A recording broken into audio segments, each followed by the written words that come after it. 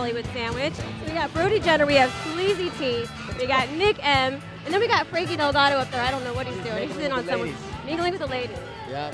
Frankie. He's really, he's, he's really into it. So we're here at the VMAs. You're at the Style Villa. How was your experience today, Brody? Well, I love free things always because I Always? feel like I'm paying Yeah. all the time and stuff. So I just love to come to these places and they have cool stuff and it's good to be in Vegas. Uh, hopefully we'll go gambling a little bit and then uh, get ready for Sunday.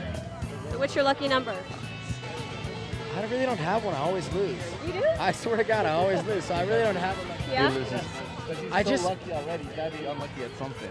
Yeah. yeah, he's always lucky in everything else, but gambling, no. no, no, I'm not that lucky. No. Gambling, uh, I just enjoy doing it. So you going to the show? Which one? The I mean, there's a lot of other show, but there's 50 Cent. We're here for the VMAs. We're here for the VMAs, but there's also the 50 Cent Yeah. thing tomorrow night. We're doing something for Kanye West tonight. I think we're going out for he's having a concert. Um, but That's the rundown. but I'm very excited, yes, to go to the show on Sunday. It's gonna be a lot of fun. We're gonna go crazy. You have a date? Are you going to the VMAs? No, I don't have a date. Do you want to be my date? Ah, got a date now. Lazy T. He wants to go see some tea. Yeah, come on, girl, let's go. What's up? I'm Sleazy T. I'm Brody Jenner. I'm Nick Montalegre. And I'm Frankie Delgado. Oh. And I'm Michelle Marie, and you're watching Young Hollywood.